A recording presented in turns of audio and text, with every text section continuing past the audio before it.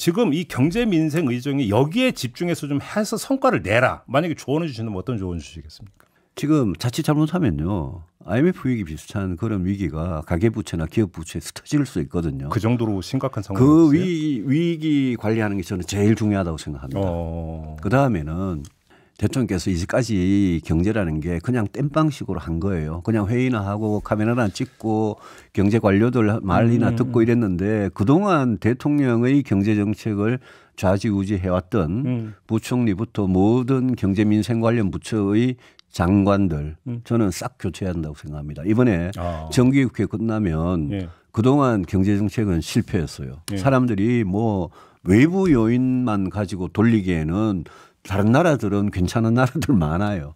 그렇기 때문에 그동안 복지를 포함, 복지 노동을 포함해서 음. 넓은 의미에서 민생 경제하고 관련된 내각을 음. 저는 새로 꾸릴 필요가 있다. 그래야지 대통령께서 경제 정책의 어떤 전환 같은 걸 하실 수 있을 거예요. 예.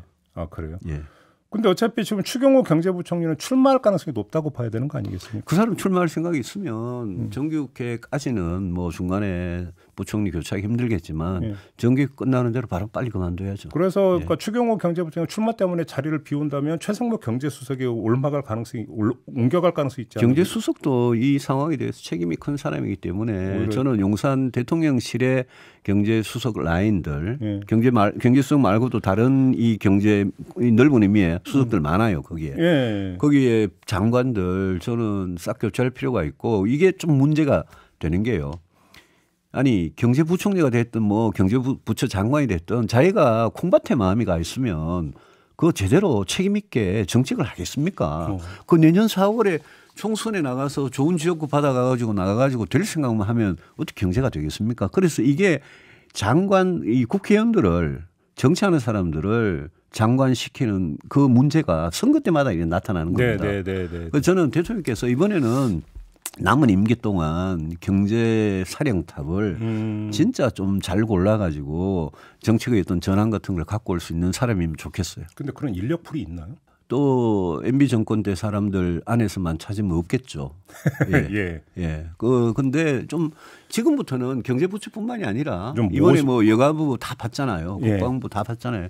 대통령께서 그 앞으로 장관으로 쓰실 인재풀을 진짜 좀 넓게 봤으면 좋겠어요. 과거 노무현 문재인 정부에서 일했던 사람들 중에도 음. 괜찮은 사람들이 있고요. 네네네. 네, 네. 박근혜 정부 때 일했던 사람 중에서 괜찮은 사람이 있으니까 네네. 네. 좀 넓게 봤으면 좋겠습니다. 그러니까 기재위 국감에서 민주당은 튼튼했던 우리 경제가 윤석열 정권 1년 반도 안 돼 총체적 부도 위기에 처해 있다고 주장했습니다. 야당이 정부 정책 성과를 깎아내리기 위해 국감장에서 가짜 위기수를 만들어내는 모습이 매우 실망스럽습니다.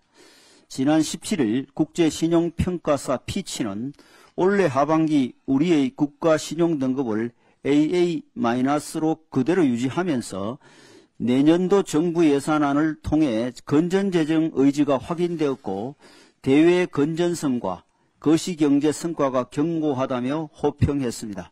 또한 지난 13일 IMF, IMF 아시아 태평양 지역 국장은 한국의 성장세가 둔화되는 것은 외부적 요인 때문이라며 재정 건전성이 어느 때보다 중요하기 때문에 우리 정부가 현재의 정책 기조를 이어나가야 한다고 충고했습니다.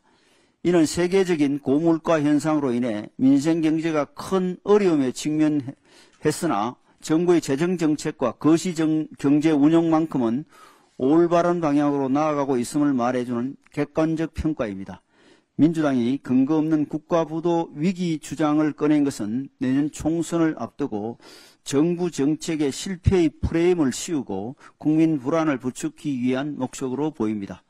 민주당이 해야 할 일은 경제 심리에 찬물을 끼얹는 것이 아니라 경제 회복이 더욱 속도를 낼 수 있도록 입법적인 도움을 주는 것입니다.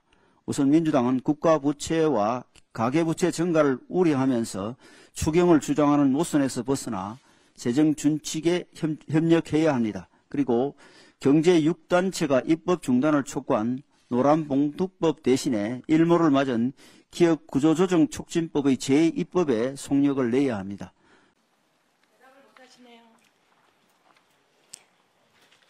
경제부총리 경제에 대해서 그런 인식을 하고 있으니까 이렇게 국가를 말아먹고 있는 거예요. 상조하고는커녕 상조 하락이 급속하게 진행 중에 있습니다. 지난 7월 하반기 성장률이 1.8%라고 했죠. 달성 가능합니까? 지금 1.4% 목표도 달성하기 어려운 거 아니에요? 물가도 작겠다고 후원했는데 이유가 어떻든 간에 지금 올라가고 있어요. 어떻게 지금까지 경제부총리께서 경제 전망 하신 게 맞는 게 없습니까? 부끄러운지 아십시오. 저는 대충 오죽하면 윤석열 대통령 지지율이 20%를 못 넘고 있고 집권 1년 5개월인데 마치 15년이나 지난 것 같다고 하겠습니까? 국민들이 그만큼 분노하고 힘들다는 겁니다. 전 세계가 부러워하던 튼튼했던 우리 경제가 윤 정권 1년 반도 안 돼서 총체적인 국가 부도 위기에 처해 있는 거 알기나 하세요? 국민들을 생활의 고통으로부터 벗어날 수 있도록 해줘야 하는 게 정부입니다.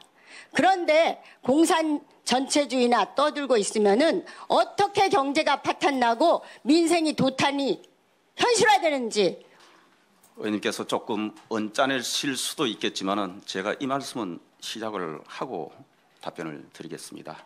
우리가 제가 지난번에도 언제 한번 말씀을 드렸는데 에, 정부를 상대로 저는 뭐 질타 좋습니다. 아, 그리고 추궁도 좋고 또 지적 제안해 주시는 거 다 좋은데 그래도 우리가 표현은 좀 적정 수위로 좀 할 수 없나 이런 생각을 하는데 초반부터 저보고 경제를 말아먹는다고 이야기를 하십니다.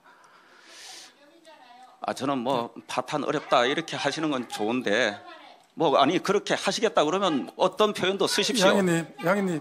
어떤 답변, 표현 쓰셔도 좋은데. 우리가 이런 예. 표현 말고는 없느냐 한번 저도 저도 국회의원이기도 합니다. 한번 같이 생각을 해보면서 지적을 좀 하고 문답을 했으면 좋겠다는 말씀을 먼저 드립니다. 알겠습니다.